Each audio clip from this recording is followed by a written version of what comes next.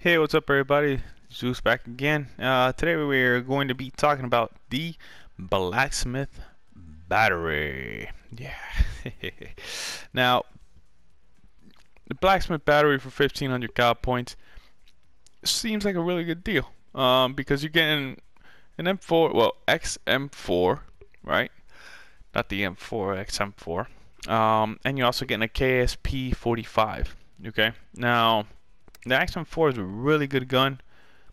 Um, I'd say out of the assault rifles in Cold War, uh, it's probably your second or third best option if you're taking it in a Warzone. Um, first option being the Krig, and then after that, this one for me fights um, uh, the XM4 fights with the QBZ for second for second place. And let's say second or third place. Um, this is a wood-looking pack or uh, blueprint, better yet said, and it's kind of reminds me of the emissary that you got in the uh, the emissary blueprint that you get from doing the Easter egg in um, Stadium, where you have the, the wood stock, the wood handle, um, or the wood grip, better yet said, and also the wood barrel. Now, this looks to me because of the speed and everything and that this is more of a close range to mid-range assault rifle. Oh, actually, I lied. The third, this would be, um, or this would fight for third because the FFR is actually a really, really good gun, and I enjoy the FFR for Warzone. Um, but the only thing about the FFR is that it's like a mid uh, mid to close, close to mid-range gun. It's not really a long-range gun like uh, like the rest of the assault rifles. Um, so with that being said, we'll go back into this one. Yeah. Um, we have the 15 round fast mag, yeah. which I'm loving the print on the 15 round fast mag. It's a shame that they aren't allowing you to kind of mix and match um, blueprints yet. Um, they just what if you know you have this blueprint, you stick it in, that's all you get. It's just this blueprint. You know, if you're trying to get like a different mag, you have a different foregrip or something you want to use, it's not going to mix and match it. So I kind of don't like that. But I do enjoy the gold on this one. It's really, really nice. Um, next up, we're going to go to the KSP, which for me is a totally different design. Oh, cats walk over my belly is a totally different design than the XM4. Now, I'm loving the like that kind of like heated, that overheated look that you get on the tip, on the muzzle uh, of the barrel, and also the clip. Now, seeing this though, kind of makes me wish or like hope. Oh smokes! Did it just change color? Oh, it is changing color. Very interesting seeing and hoping that it probably would have at least had some sort of um, a tracer color on it, right? But wow, seeing this now, that's actually very, very nice.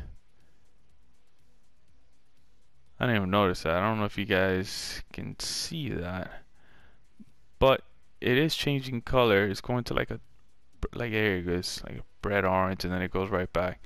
This would have been a great tracer. I think they skipped the ball on this one. Yeah, I think they skipped the ball on this one. This would have been a great tracer. Now, this being a long-range SMG, alright, this is a burst shot SMG. With a 9.5 inch Ranger, you got a flash guard, you got a front grip, three times optic, and a duster stock. So dusters for more speed, and the, the 9.5 Rangers for the distance. You know,